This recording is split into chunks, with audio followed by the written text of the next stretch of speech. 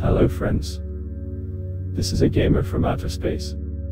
Let's play the game Iron Maiden Legacy of the Beast. I have good news for you. Starting July 9, a random free key will be available at the Frontier store. As far as I know, every week there will be a new key.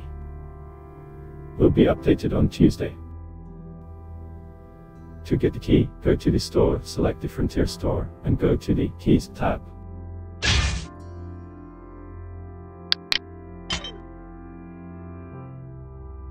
Please note this is the key, not the soul of the key. Therefore, they cannot be stored in the Book of Souls and when you take the key in the store, the dungeon will immediately open.